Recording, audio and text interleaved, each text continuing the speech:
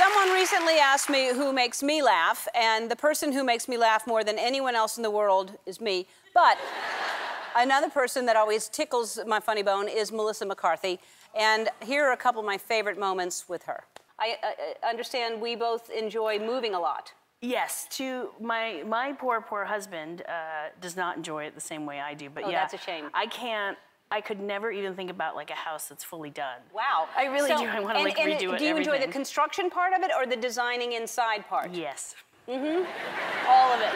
Yeah, it never it never ends. Mm-hmm. And I have we're we're putting up a fence in front and which I have. I don't know if I'm going to be able to keep the same guys that are always helping me and doing a great job because I've Why is that? I did well.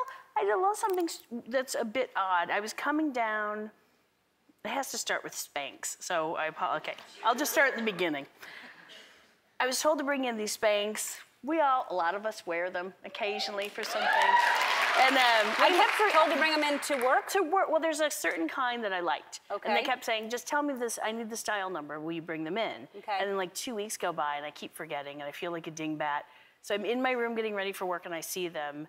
And I was like, just put them on. Clearly you can't take them and put them in your purse. So your punishment is just, just put them on and wear them into work. So I get ready and I always leave for work kind of like a Sherpa. I have like a bag of this, a bag of things I think I'm gonna get done, which don't. I just carry it back and forth from work, from work to home. So I have like three bags, three bags. I have a messenger bag across me.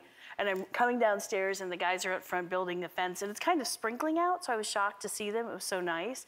And I'm coming down the stairs, and I was like, which bag is pulling somewhere? Like it's pulling a sweater, and I'm like, I, I, I can't even look to see what's pulling me because I've got too many bags. And so I come down the stairs, and I see the guys. I'm like, hey, good morning, guys. And they're just like, and I think they're acting weird. And I was like, God, do they think I've made them be here on a rainy day? I'm thinking it's about the rain. And then I'm standing there and I have all these bags. I'm kind of shifting back and forth and I'm chatting and like, the fence is looking great. It's really, and they're only looking like top of hair and up. and it's really odd because they're only doing this. And now I'm looking at my roof because I think like, what's up there? Like, is there some, is there like a cat on the roof? And so I'm lingering. I'm now turning around fully. and then all of a sudden I think, I, I'm standing there and I go to rearrange a bag and I look down. My sweater is now up around here. Nothing but flesh-colored Spanx. Where are your pants? I see. Oh, I'm, I'll get there. flesh-colored Spanx. I see bare kneecaps. and then my pants are somewhere like low calf. and I'm not kidding.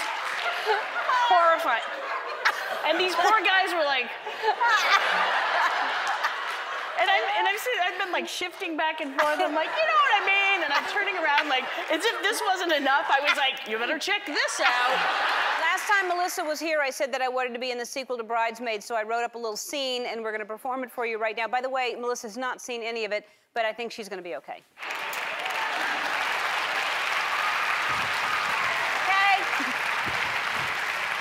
Hurry, Megan, we have to get to your wedding so that you can marry the air marshal that you met on the plane in that first movie. I know Janet, my long lost sister. I'm so happy we found each other. I knew you had to be my sister the second I accidentally hit you with my car. Enough about that. We need to get to my wedding and fast. Hey, watch out for that low branch. That branch. Uh, oh, I'm so happy for you. Your wedding is going to be so beautiful, and nothing's going to stop us from getting there. Not even that giant pile of leaves. Not even that. Oh my God. what are those? Oh, don't worry. It's good luck to get attacked by bats on your way to the wedding. It's totally fine. Mother of Mr. Bojangles. Relax. They're gone. Branch. Oh my God. Is that what I think it is? That's right. We're heading straight towards the finish line of a marathon. That's all right. It's good luck. You feel a storm coming on? No, but I'm sure looks foggy over there on your side of the street. Well, this is so weird. Why is there a perfume tester out here? That's weird to have a perfume tester out here. Oh!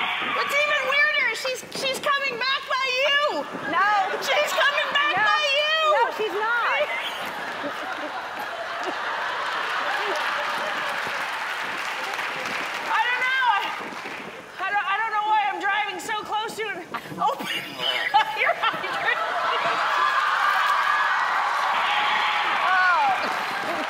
Oh, I've got bad news. Look at those clouds. They look like rain clouds.